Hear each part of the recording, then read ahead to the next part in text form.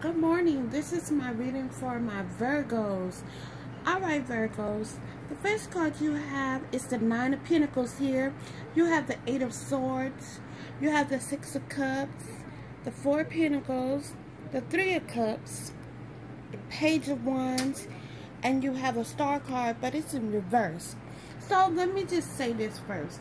Some of you Virgos are feeling, as I look at this card, some of you Virgos are feeling like you're not appreciated, you're not feeling loved. Some of you are expecting some things to move in your jobs and they're not going as fast as you want them to go, but I want you to know not to worry so much about it because things will fall in place. Some of you are bounded here. Bounded by a situation, Virgos. Mm-hmm.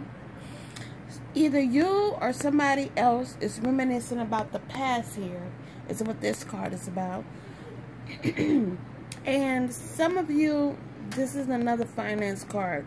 Some of you are worried about your finance like I say you see how he's over his finances he's worried about finances here. But like I said don't worry about your finances. Everything is going to fall into place for you as far as your finances go okay you have the three of cups here. This is meaning that you're going to be celebrating a situation. Um i don't want to say um three of cups sometimes in other things mean um, somebody's dealing with three people or something else but i'm saying if i'm by looking at this card right here i'm gonna say today this means that you need some celebration in your life or you're gonna be celebrating something. Now the next card here is this is um page wands. So this means you're going to be getting some because somebody wants to communicate with you. And i'm not sure if you're going to be cutting